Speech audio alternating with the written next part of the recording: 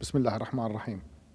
تم عقد جلسة مجلس الوزراء المرقمة 44 لعام 2021 والمرقمة 79 في عمر هذه الحكومة.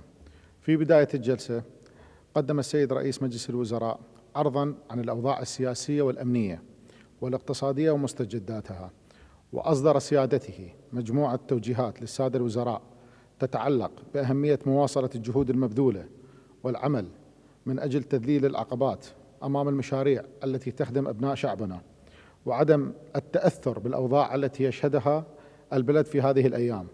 فالحكومة الحالية وضعت منذ بداية عملها مواجهة التحديات العديدة ونجحت في العديد من الملفات وأن تؤسس لبناء دولة المؤسسات.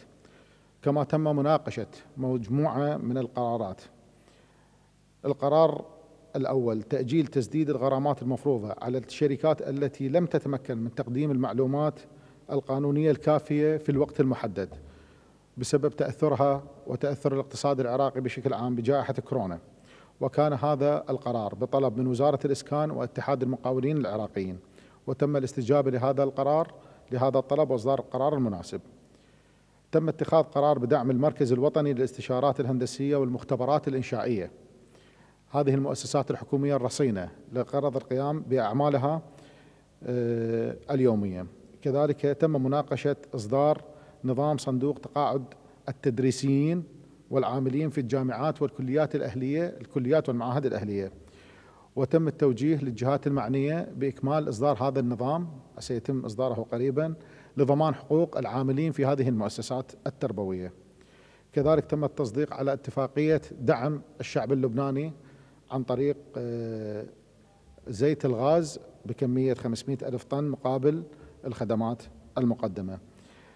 إضافة لهذا الموضوع هناك قرار مهم توجيه مهم بدفع مستحقات أو جزء من مستحقات الفلاحين بقيمة 250 مليار في الأيام القليلة القادمة. هذا طبعا جزء من مستحقاتهم.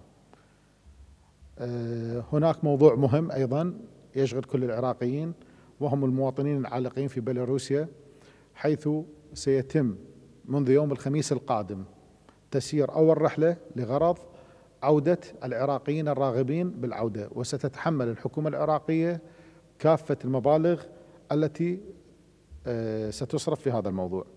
أيضا تم مناقشة آه، التقرير الذي قدمه البنك الدولي في الفترة الأخيرة في الأيام القليلة السابقة وهو يؤشر لنجاح الاقتصاد العراقي حيث انعكس ذلك بزيادة إقبال على شراء السندات العراقية وهذا موضوع مهم جدا حيث هناك حركة للاقتصاد العراقي عن طريق هذا التقرير الذي أثبت نجاح الحكومة في المرحلة السابقة في هذا الموضوع. شكرا لكم، تحياتي.